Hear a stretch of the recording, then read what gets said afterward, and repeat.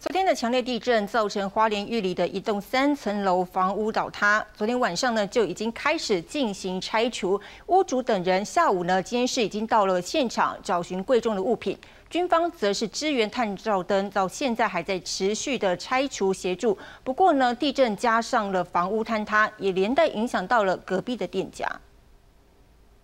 多辆挖土机持续动工，工程人员十九号下午持续进行拆除花莲玉里这栋三层楼房屋，在强震后倒塌。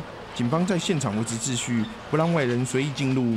原本计划力拼十九号拆除完成，可是现场还有大量钢筋水泥及碎石，难度很高。今天会把它全部拆除掉，那周边的这个十字路口的马路也会重新起上柏油。国军在现场进行交管，还调来探照灯协助照明，方便拆除。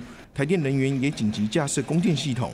提供居民使用，而倒塌的房屋原本一楼是便利商店，超商店长及屋主等人下午到现场找寻贵重物品。在强震过后，房屋出现裂缝，就连外围围墙砖瓦也散落一地。店家把问题指向隔壁倒塌的三层楼房屋。一楼的便利商店有寻获店内保险箱、收银机，清查后财物先交由警方。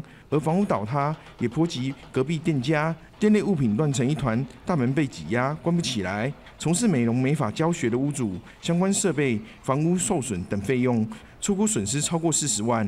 只有震坏那个围墙没有请到我们这边来，到东西都没有调到我们这边来，只是说被震央的东西哦，把我这一些的所有器材啦、物资啊。哦，整个都破损掉。店家也先紧急告知，暂停两天教学，赶紧把屋内清理完毕。预计影响超过五十名学生。地震灾后修复造成的损失，恐怕难以估计。记者陈冠勋、郭俊霖，SNG 小组花莲报道。